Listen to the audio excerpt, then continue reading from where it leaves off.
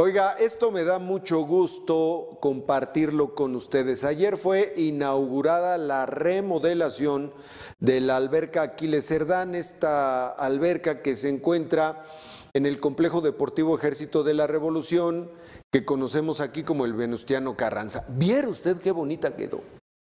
Es una barbaridad de bien como quedó esta alberca olímpica. Ya es una alberca olímpica.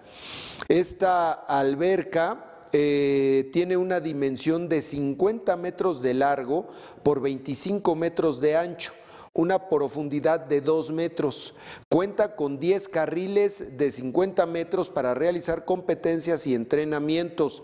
Se instalaron 16 bombas de calor, lo que hace más eficiente el uso del combustible y lo reduce casi en un 75% para mantener en una temperatura aproximada de 27 grados centígrados el agua de la alberca. Temperatura ideal los 365 días eh, del año. Cuenta también con un elevador para personas con discapacidad y que puedan disfrutar de este espacio deportivo de verdad eh, ayer lo vi y me quedé sorprendido.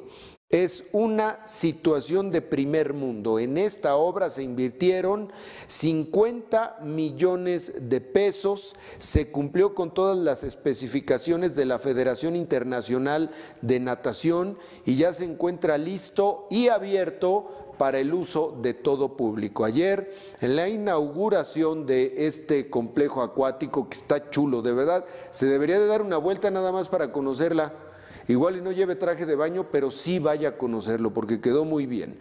Dijo el gobernador durante la inauguración de este espacio. Es para mí un gusto que esta alberca quede al servicio de los nadadores, de los equipos y de los que vienen a hacer rehabilitación, porque tiene una enorme variedad de usos y sin duda alguna que sí. ¿eh?